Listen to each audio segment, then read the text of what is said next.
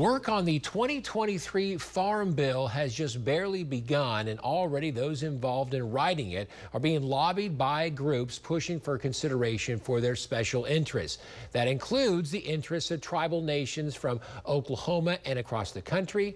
Our Washington Bureau Chief Alex Cameron is following the story.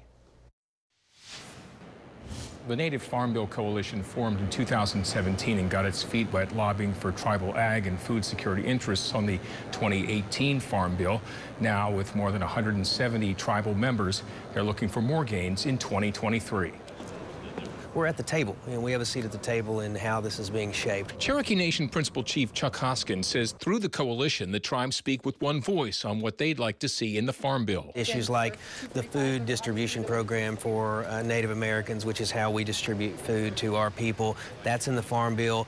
Multiple tribes have an interest in that. Among the priorities the Cherokee tribe lists are expanding existing tribal self-determination opportunities, getting the USDA to allow traditional foods into the FDPIR, the Food Distribution Program on Indian reservations, allowing tribes to directly administer SNAP programs, and urging the USDA to expand funding for its meat processing program.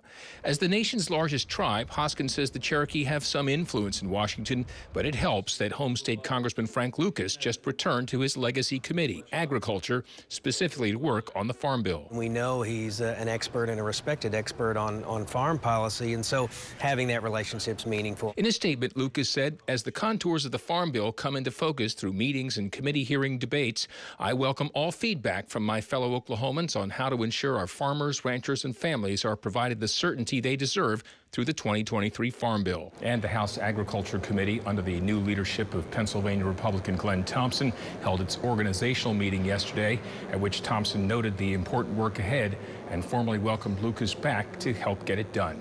In our Washington Bureau, I'm Oklahoma's own Alex Cameron.